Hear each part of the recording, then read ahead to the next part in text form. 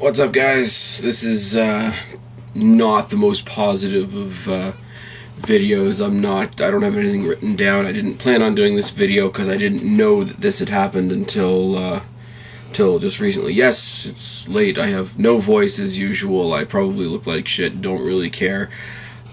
Came home from school tonight. Uh, wanted to catch up on some Impact Wrestling. Oh, yes, even though that doesn't seem to be the popular thing to do right now. But I'm catching up on Impact Wrestling, which means I'm on this computer right here talking to my buddy Deluxe Man, who everybody should go and subscribe to, obviously.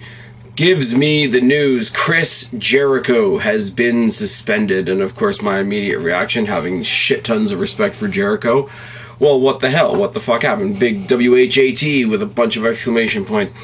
Comes back to me, says, you know, Jericho did some stupid shit in Brazil.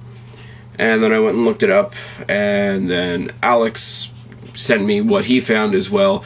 Apparently, even after being informed that desecration of the Brazilian flag is a criminal offense, punishable by prison incarceration, Jericho thought it would be a great idea in a match with Punk to grab the Brazilian flag that CM Punk eh, CM Punk, sorry, was waving and toss it around the ring and kick it around and do do whatever other disrespectful things to it. From the reports that I've read and the reports that I've been sent, apparently the police, you know, quote unquote, stormed the ring, stopped the match immediately.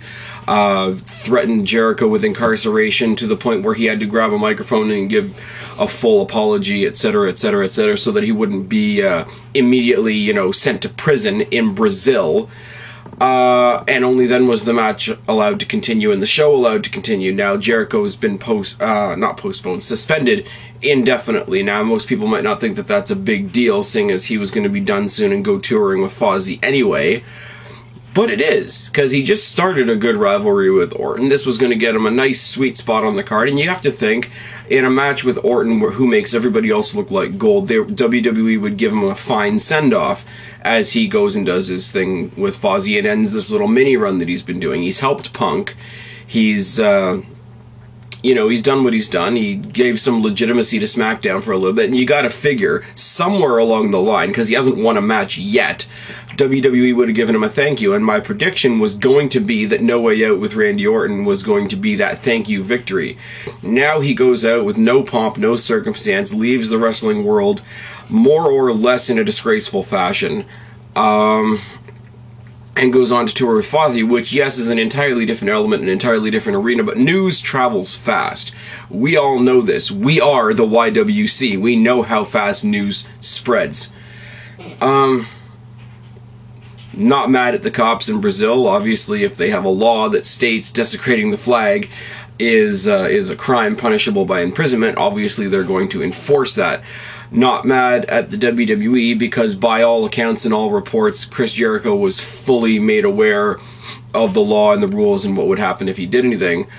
Uh, not mad at Jericho because anywhere else, you know, flags in the WWE have been used for years. We've had flag on a pole matches. We've had, you know, remember back in the day, Bret Hart versus Shawn Michaels, um, a lot of that was sort of a Canada versus US thing where Shawn Michaels pulled such lovely stunts as, you know, humping our flag and sticking it up his nose, etc.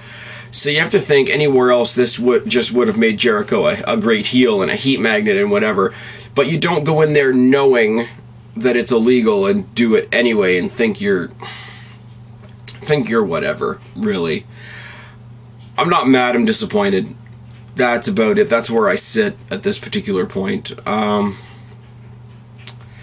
don't know what else to say. Obviously, Jericho's going to be off our screen. Obviously, that fucks Orton out of whatever great match they were going to have it over the li- or not over the limit at uh, at No Way Out. So they'll have to do some creative writing around Orton now to give him something to do, or you know, toss him back in there with Sheamus or whatever. Um,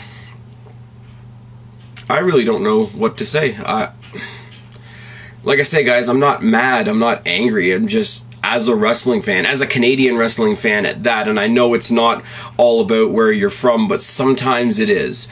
As a wrestling fan, as a Canadian wrestling fan, um, disappointed. Disappointed is the word. Um, first person that immediately came to my mind was uh, was Kara here in the YWC, uh, also known as Emo Kitty Cat with a bunch of X's and O's. Probably one of the biggest Jerichoholics I know. Um, so if I'm feeling disappointed, I can't imagine how she's feeling right now. Um, thanks to Deluxe Man for you know popping up and giving me this little this little tidbit of information. I, uh, I guys, I don't know what to to say. Um, was it a dumb thing to do? Probably, but it was only dumb because of where they were. If it had been in the states, and he'd been, you know, say Jericho had had a match against the All American, American, American, and he had done the equivalent of what Shawn Michaels did to Bret Hart with the American flag, yeah, it would have been shunned and it would have been controversial, but I'm pretty sure it would have been okayed in some storyline or some form or fashion. But um, it was dumb.